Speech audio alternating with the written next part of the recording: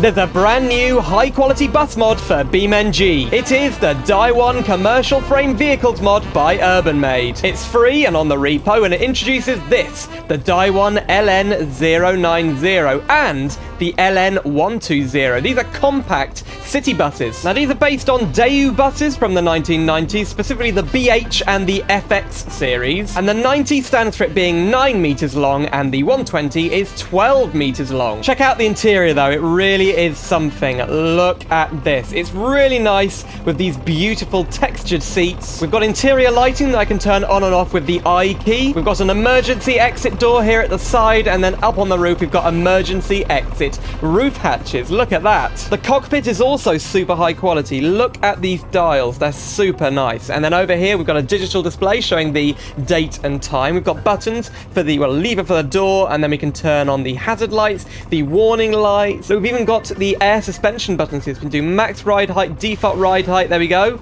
Oh, we're going up. And the bus even has a diff lock. That's kind of weird. This config has a 9.8 litre diesel engine with an automatic gearbox, so let's take her for a spin. So this mod was created by Urbanmaid, and they've given us mods like the Bruckell M body pack and the Rayton MR platform. And if you download this mod from the link in the description, make sure you also download the Urbanmaid core resource package. You do need it to use this bus. So you can probably hear We've got a slightly customized engine noise. I do think it sounds really nice. Also, the suspension with the ride height up like this high, it's pretty soft. Look at this. Let's go around this corner and I'm going to show you what I mean about the body roll. Ready? Look at that. That is crazy. You don't feel like you're leaning too much when you're driving along inside, but when you look at it from the outside, oh boy, I feel like it's going to tip over, but it never does. Ooh, okay. Whoa. Let's go for a big crash test. Okay, so we're doing about 50. Let's hit this palm tree tree. Whoa!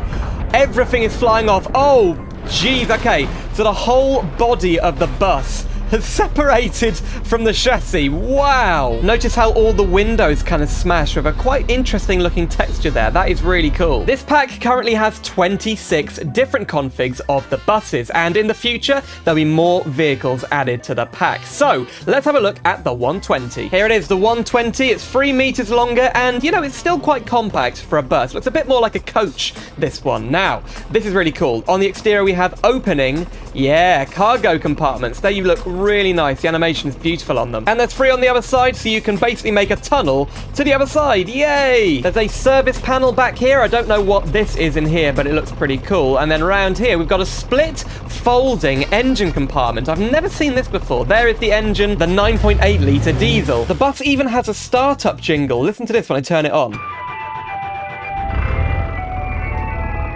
Oh, that's pretty cool. Now, this mod has just released, but it's fair to say that mirror is kind of useless. I don't know what's going on there. Luckily, this one does work quite well, and the other one is exactly the same. That's a bit strange. Also, the bus seems to wobble quite a bit when you hit any kind of bump. Look at that. Whoa.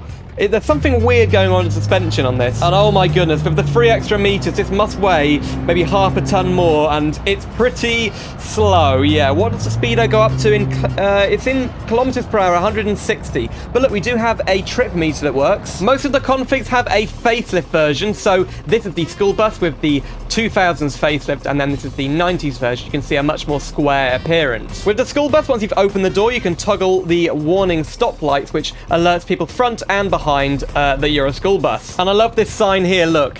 Beware of head.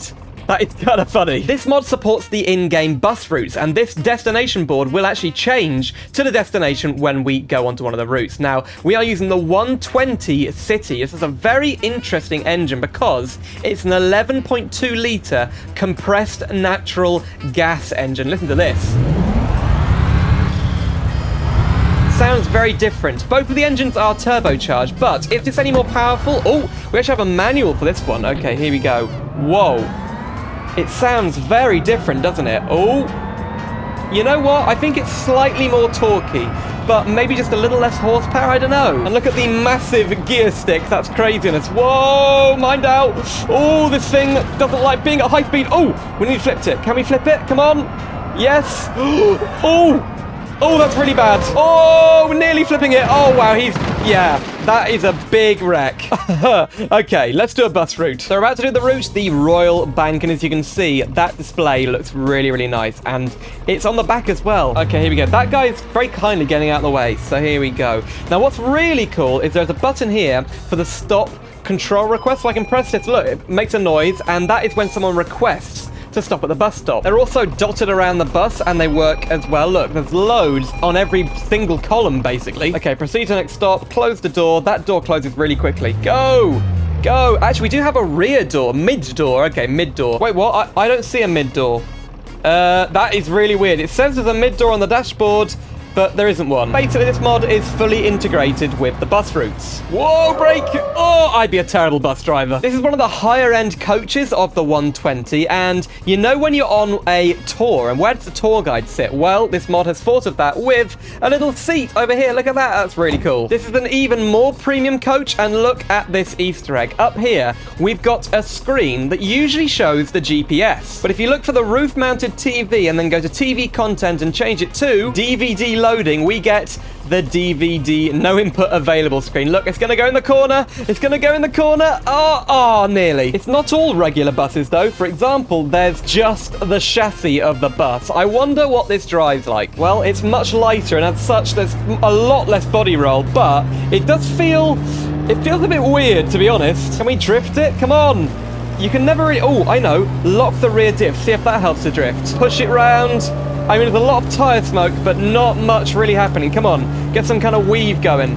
Oh, oh, you know what? That was nearly a drift. Whoa, yes, we're doing it. We're drifting a bus. Well, the chassis of a bus anyway. Whoa! Oh, oh, oh, oh, oh! Uh, the engine's been ripped off. Can we still drive?